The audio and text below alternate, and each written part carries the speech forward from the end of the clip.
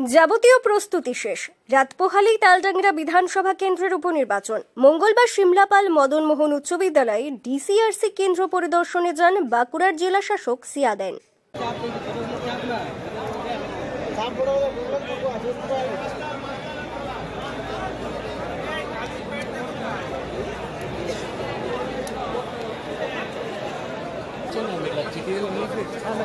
চারজন চলে এসছে মিলাচ্ছেন কি না হয়ে গেছে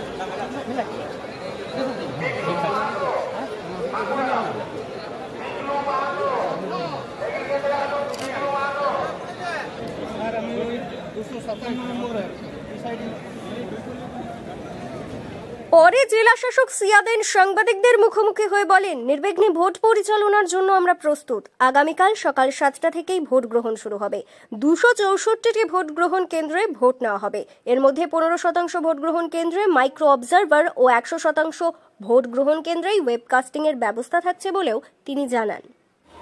বাঁকুড়া জেলাতে two fifty one Taldangra assembly কনস্টিটুয়েন্সির by ইলেকশনের জন্য আজকে পি মাইনাস ওয়ান ডে এখানে আমরা আজকে ডিসিতে যা দেখছি, প্রায় এইট্টি পার্সেন্ট সব পোলিং পার্সোনাল মেটেরিয়াল নিয়েছে। বাকি যারা এখানে এসে অ্যাটেন্ডেন্স দিয়েছে মেটেরিয়াল কালেক্ট করছে এখানে। যাদের কিছু ফেইল্ড পেমেন্ট হয়েছে, তাদেরকে এখান থেকে পেমেন্ট করা, সব প্রস্তুতি চলছে। আমি একবার সব কাউন্টারটা ঘুরে দেখলাম। আমাদের কন্ট্রোল রুমটাও এখানে যে আছে, ঘুরে দেখলাম। সব দিক থেকে আমরা প্রিপেয়ার্ড আছি। মাইক্রো অবজার্ভার ট্যাগিং থেকে শুরু করে পুলিশ পার্সোনাল ট্যাগিং তারপর ভেহিকেল ট্যাগিং সব এখানে রেডি আছে।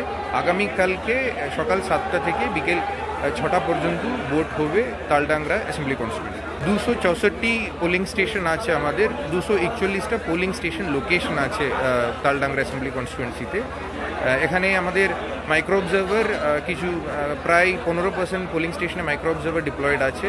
সব পোলিং স্টেশনে আমাদের ওয়েবকাস্টিং হচ্ছে, আর যেমন ইলেকশন কমিশন থেকে অ্যাপ্রুভ স্কেল এসছে, সব জায়গাতে আমাদের সিএপিএফ ডিপ্লয়েড আছে। কমিশনে যে অ্যাপ্রুভড স্কেল এসছে হাফ সেকশন সব পোলিং স্টেশনে ডিপ্লয়েড আছে। কোনো অসুবিধা তো আমি যাদের সাথে কথা বলে দেখলাম, কেউ অসুবিধা সেরকম বলছেন আমাদের সেক্টর অফিসের একত্রিশটা সেক্টর আছে। সেক্টর অ্যাসিস্ট্যান্ট সেক্টর সব অফিসার দেওয়া আছে। কিউআরটি আমাদের এফএসটি সব ফিল্ডে আছে। কোনো অসুবিধা হওয়ার কথা না। আমরা সব টিম প্রিপেয়ার্ড আছি, সবাইকে ঠিক মতন ট্রেনিং এবং ব্রিফিং করা আছে।